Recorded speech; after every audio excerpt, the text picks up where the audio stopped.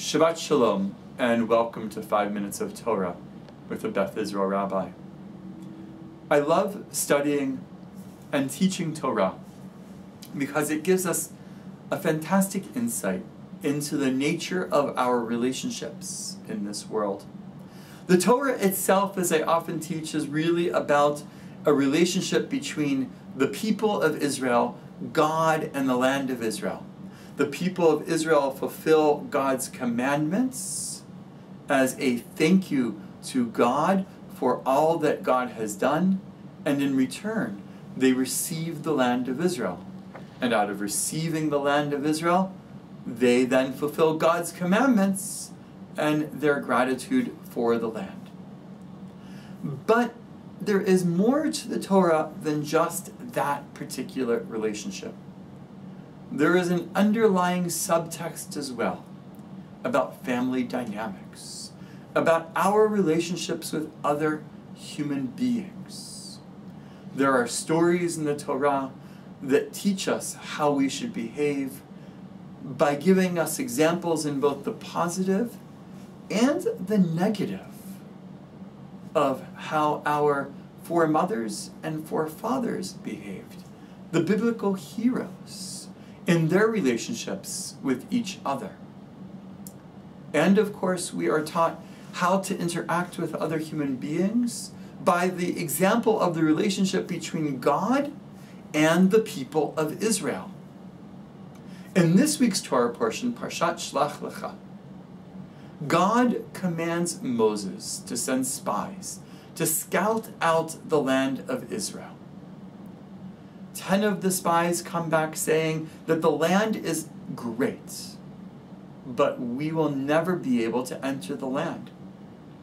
The inhabitants are giants.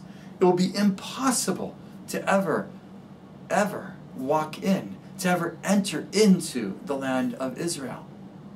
And yet, two of the spies, Caleb and Joshua, come back with a very positive report. They not only say that the land is great, but that we will also be able to enter the land one day.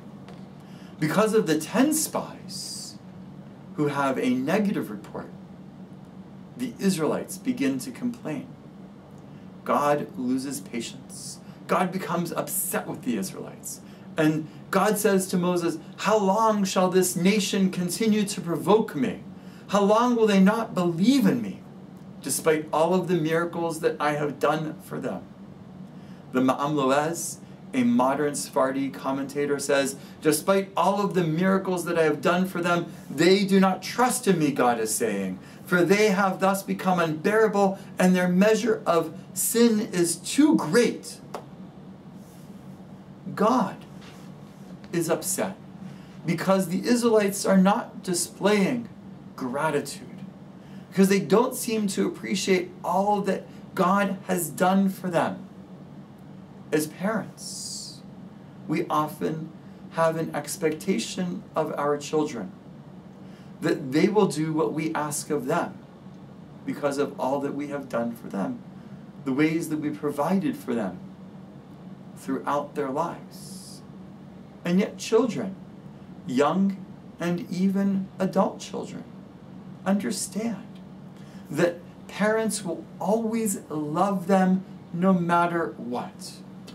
And because of that, they don't necessarily act the way their parents want them to do so. We have an expectation of our children that's not necessarily realistic. Even God had an expectation of the Israelites that was not realistic.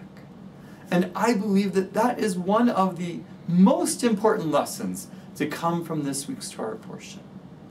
Children will do what they want when they are young and when they are older. And we must love them despite our expectations. And as children, we must understand what it is that our parents want from us. Ultimately, the most important thing for us to do is to act in terms of our family relationships and our relationships in general, the way one of my teachers of Torah suggested, which is not to give a 50 50 in terms of our relationships, but a 100 100. We must give 100% of ourselves, while the other gives 100% of themselves, of their self. And by doing that, we create the relationships that we want in this world. Shabbat Shalom.